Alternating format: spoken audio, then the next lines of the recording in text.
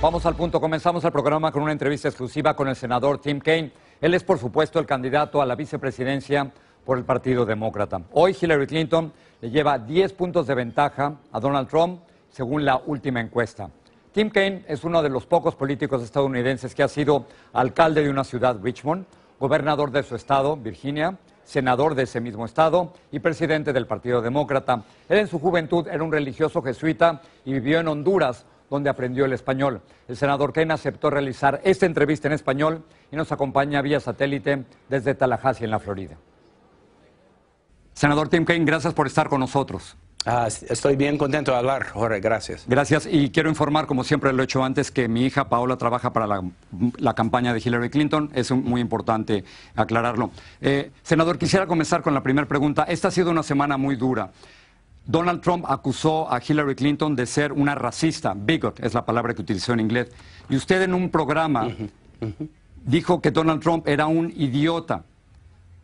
Este es el tono de la campaña. ¿Y por qué le llamó idiota a Donald Trump? Ah, yo diría que sus acciones son acciones de un idiota, especialmente sus acciones contra la comunidad latina. Ah, él está hablando sobre construyendo un muro gigante, formando una fuerza de deportación, separando 16 eh, millones de gente de nuestro país y sus palabras de mala voluntad y sus acciones en este asunto son acciones de un payaso no, no están acciones serias, pero debemos pelear contra este tipo de, sentimiento de Donald Trump, porque no son los valores de nuestro país. Senador, ¿usted cree que Donald Trump está cambiando sobre las deportaciones porque está tratando de ganar el voto latino y se dio cuenta de esto demasiado tarde? Jorge, yo, no estoy seguro que él está cambiando nada. Ah, sus palabras en esta semana yo creo son palabras vacías porque todavía ah, él tiene planes para ah, separar gente de este país, construir este muro gigante y está una, ah, siempre está peleando contra la reforma del sistema de inmigración. Hay una diferencia muy, muy grande entre Hillary Clinton y él. Y entonces algunas palabras esta semana son palabras, pero sus acciones son bien claras y sus y acciones de Trump no están cambiando. Esta semana la secretaria Clinton dio un fuerte discurso en que vinculaba a grupos supremacistas, white supremacists, con la campaña de Donald Trump. ¿Usted cree que Donald Trump es un racista? Yo, no conozco a Donald Trump, entonces yo no voy a ofrecer una opinión sobre su mente, pero él está hablando, él está trabajando con, gente que tienen conexiones bien claras a, extremismo a grupos de white supremacy, con, gente, como Donald Duke y otros que son apoyantes de Donald Trump y Alex Jones y otros. Es claro que él está promoviendo grupos de odio y está recibiendo apoyo de grupos de odio. Y el valor de igualdad es el valor más importante en, nuestro país. Desde, desde los primeros días, Thomas Jefferson y otros han, escogido un valor central para nuestro país, igualdad.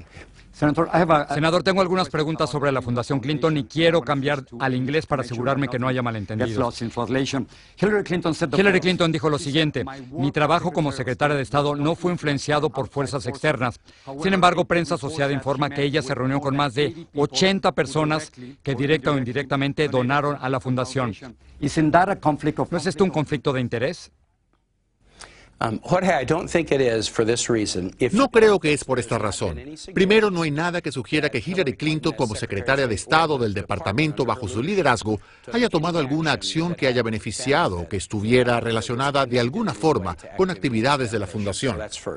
Segundo, la historia de AP que ofreció esto escogió una muestra pequeña de reuniones entre miles que ella tuvo en ese periodo y después notó que ciertamente la mitad de esas reuniones involucraban a personas que contribuyeron a la fundación.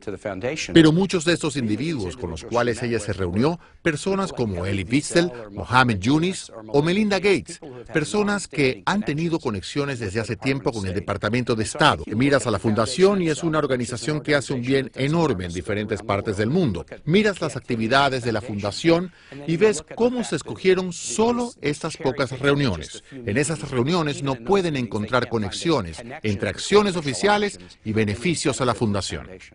Senador, la fundación ha dicho que si Hillary es electa presidenta, la fundación no va a aceptar donaciones extranjeras o corporativas. Así que si esas donaciones no son aceptables si ella llega a la presidencia, ¿por qué fueron aceptadas cuando ella era secretaria de Estado? Creo que en todo momento la Fundación ha hecho lo que debía, que es en dónde estamos ahora y qué debemos hacer.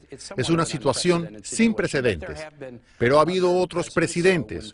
Cuando Bush era presidente, su padre tenía una fundación que hacía trabajos buenos y caritativos, que tenían mucho valor. Cada paso del camino es importante evaluarlo. Sí creo que es importante y me alegra que la Fundación haya aclarado que si Hillary es electa, eso debe tomar otro curso y deben haber nuevas y mayores regulaciones.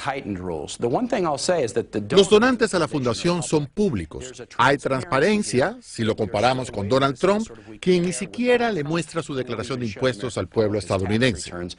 Él debe seguir el ejemplo de la fundación y estar dispuesto a revelarlos. Por último, el FBI está investigando 15.000 mensajes de correos electrónicos que no se entregaron voluntariamente al Departamento de Estado.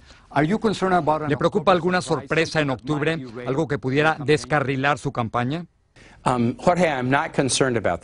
No estoy preocupado por esto. Creo que el Departamento de Estado y el FBI están revisando los correos y yo espero, y Hillary Clinton ha dicho lo mismo, que cualquiera de los correos relacionados con misiones oficiales deberían ser hechos públicos. No tenemos miedo sobre eso y esperaría que eso ocurra.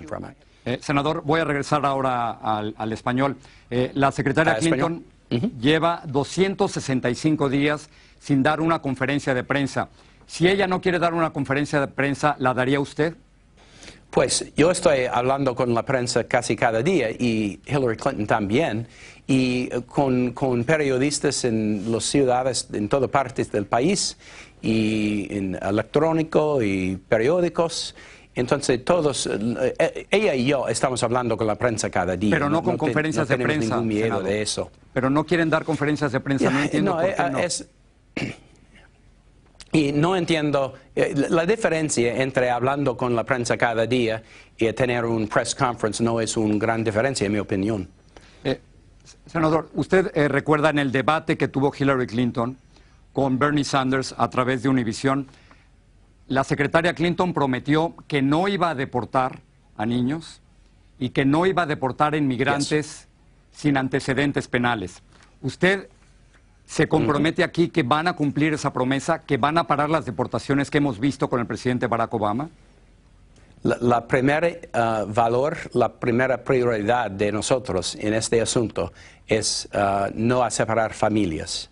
Entonces, familias deben, deben ser juntos y no queremos separar familias y no queremos mandar niños a otros países. Es muy, muy importante. Entonces, vamos a trabajar hacer esto, Jorge, en algunas maneras. Primera vez, necesitamos trabajar con los gobiernos de Centroamérica para desarrollar su economía y pelear contra la violencia de drogas, porque es importante que los niños de, de estos países tienen un futuro allá entonces no necesitan salir porque de la violencia. Vamos a trabajar juntos con los gobiernos. Pero cuando los niños están aquí, no queremos mandar niños a otros países. Muchos de ellos eh, son calificados para asilo si, si ellos tienen abogados. Entonces ellos necesitan recibir este tipo de apoyo. Senador Kane, gracias por hablar con nosotros en español.